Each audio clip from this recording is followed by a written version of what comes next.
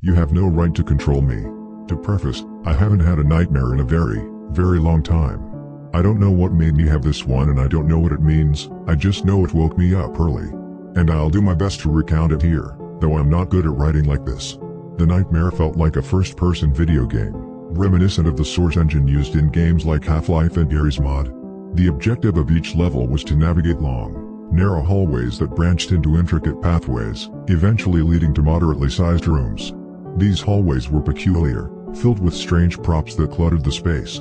The layout was surreal, with jagged curves and rough edges, like if there was a top-view map it would be an absolute mess.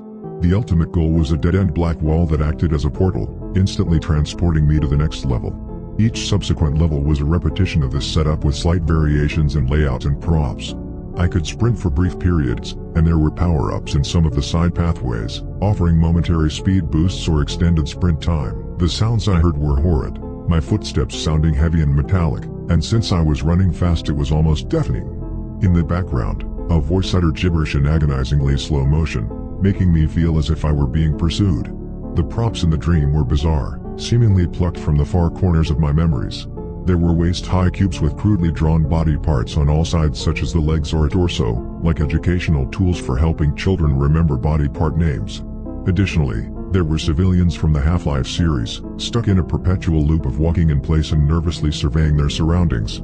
After completing several levels, a figure briefly flashed before me. It wore the same clothes as the civilians but had a large, burnt head with protruding eyeballs that stared directly at me.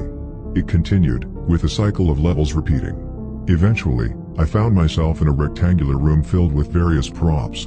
The burnt figure and I stood at one end, just staring. When I moved to the opposite side of the room, the figure gazed at me and uttered in the same horrid slow voice, You have no right to control me.